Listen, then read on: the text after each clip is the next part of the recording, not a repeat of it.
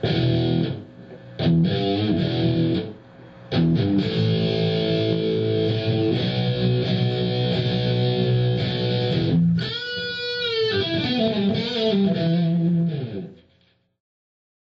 we're going to do an update on the Super Bee.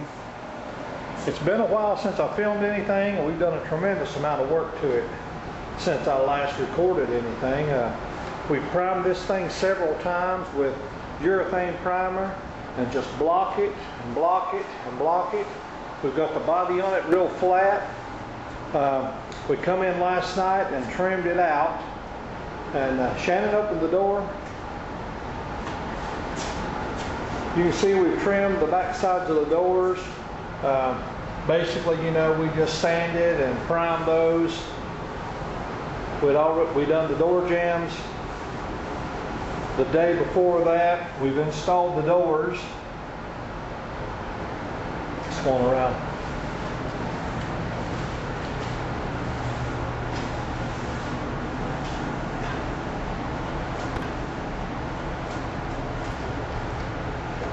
We've blocked, like, well, like I said, we've blocked every inch of this just over and over. Um, we scuffed and repainted the engine bay. We painted the back side of the hood last night, and we put it on this morning. Uh, we hung and painted the uh, hood hinges.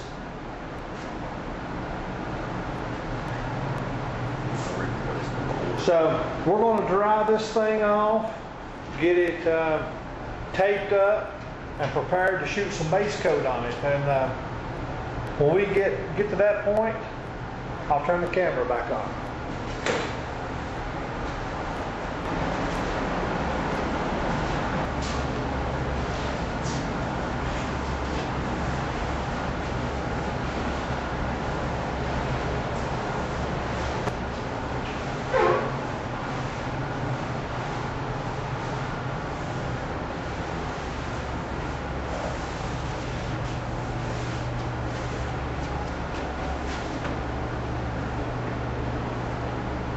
Looks good, little buddy.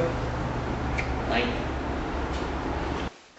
you. Okay, I want to talk for just a minute about, uh, you know, all the precautions that I've taken. Um, You know, we've blocked this thing, we've looked at it outside in sunlight, we've had it in the paint room, looking at it in fluorescent light. Uh, We put guide coats on it and blocked those back off. Um, you know, we've taken every precaution that I can think of to be sure that the body is as true as it can be and, and what you can see, you know, without the finish being on it. Uh, we've, uh, we've cleaned it several times, try to be sure that all the dirt and dust is out of it. Uh, we've back masked, you know, all the door jambs so that we don't have a hard edge and we'll let the paint flow in there and finish those. Uh, we went over the body in here just today. Uh, like I said, little small places that need touched up or, you know, anything we find right now is the time to fix it. Uh, we've, uh, we've wiped it all down with wax and grease remover to, pre- you know, prevent from any oil or anything causing a fish eye with it. Um, precautions that maybe like I've taken, you know, wear this paint suit, it's lint free. Uh, I'll wear a mask. Uh, we clean the air hose. You know, that, this air hose is here just to, to paint with. And uh, we've drained all the water out of the compressor system. Uh, we turn the fans on in the booth and let them run for, you know, about half hour so that any dust that, that it's going to stir or things that might fly around, you know, we've already got those loose and in our filters.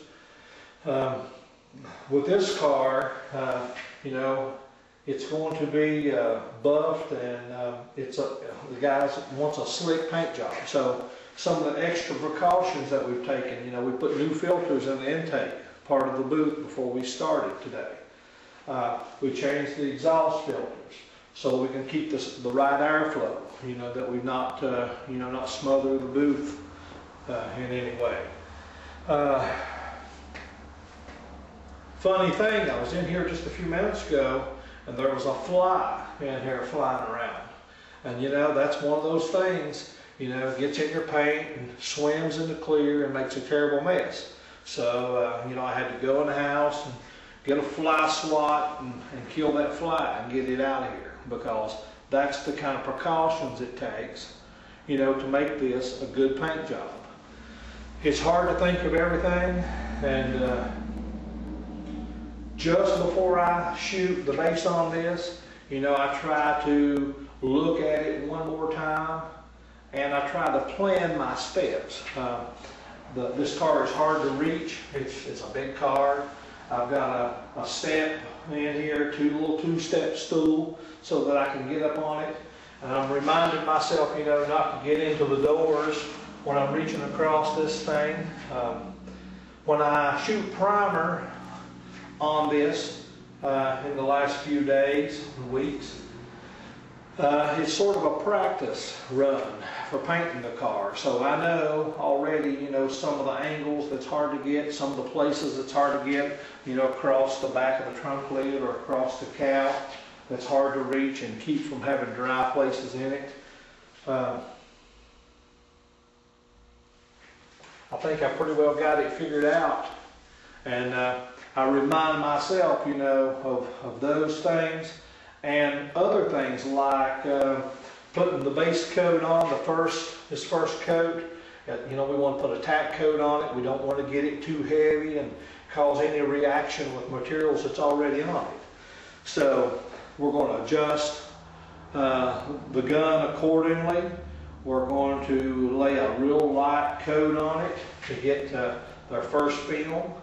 And uh, hopefully, hopefully all goes well. Uh, if it can go wrong, it will with paint. So I'm going to turn the camera off and I'm going to lay the first coat of uh, base on it and then we'll come back and look at it. Okay?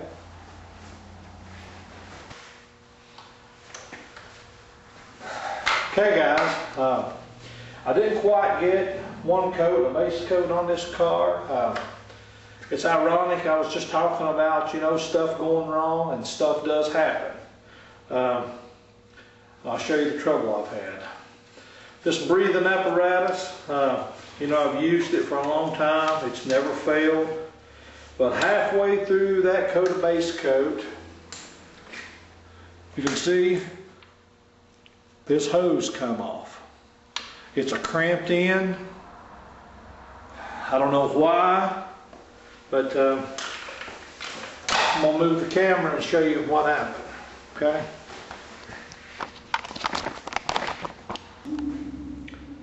While I was laying the base on the top, that air hose come off, and you can see it knocked the paint off of it right on the corner there.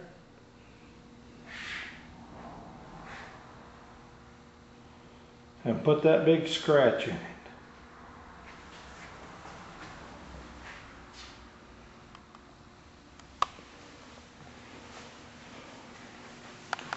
So we're going to pause right there. I'm going to let this base coat dry for just a few minutes.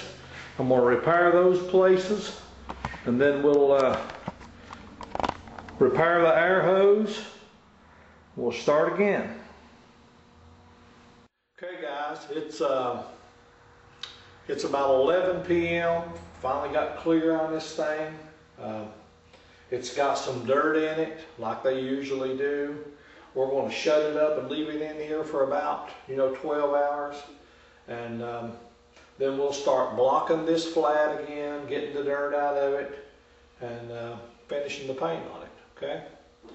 So, uh, like I was saying earlier, you know, even with all the precautions, you know, there's stuff that still happens that's, that's beyond controlling. Um, one of the hood scoops has got a, uh, a bug in it. Uh, I don't know how it got in here. I, it's late at night, and I guess, you know, the bright light draws them, and if there's a way in, they'll find it. Um, it got in, you know, one of the second or third coats of clear, and it just swims around and makes a mess. Um, we took uh, a pair of tweezers that I keep in here, you know, in this mixing room, and I pulled that sucker out of there, you know, even though it marred the clear, and then I just laid clear back on top of it. So, you know, now I, I can go back and sand that flat, and there's enough clear on it to, to repair that place and uh, finish it without repainting it. So, uh, we'll come back out in the morning, and I'll show you what this thing looks like, and uh, we'll start blocking it again.